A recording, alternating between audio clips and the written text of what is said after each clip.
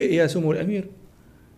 مرة أنا زرت قصر غرناطة وكان معي بعض الشباب الذين يعيشون هناك فقال لي واحد والناس يعني منبهرة بالذي يرونه من الترف والرقي وكنت أقرأ بعد ما يكتب على الجدران واحد ألماني ممن من السياح يقول تعرف تقرأ هذا الشيء؟ مستغرب أنا كيف أقرأ على الجدران؟ هو العربية قلت هذا هي فمعي شباب يكاد غرقت أعينهم بالدموع يبكون على الماضي الذاهب.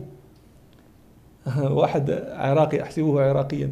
أنا كنت بجلابتي هناك وكان الجو باردا فكان عندي سلهام. السلهام هذا مثل البرنوس مثل مشلاح عندكم. فنظر إلي ووجد منظري مناسبا للمكان الذي نحن فيه. فقال لي أنت من بقايا الزمن الجميل.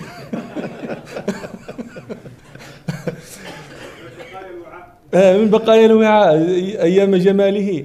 فأنا قلت لهم أنتم الآن ما رأيتم إلا الجدران. هذا هو الذي ترون. كيف تظنون الأثاث الذي كان هنا؟ كيف تظنون لباس هؤلاء القوم؟ كيف تظنون حديثهم؟ كيف تظنون جواريهم وإماءهم وخدمهم؟ أي شيء؟ وأنتم الذين ما رأيتم إلا الجدران فقط.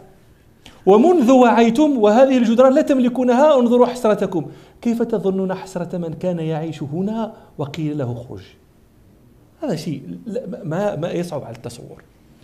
وأنا كنت أتساءل دائما كنت أتساءل لماذا الأندلس تلك القوة يتسلط عليها قوم؟ جهلة جهلة.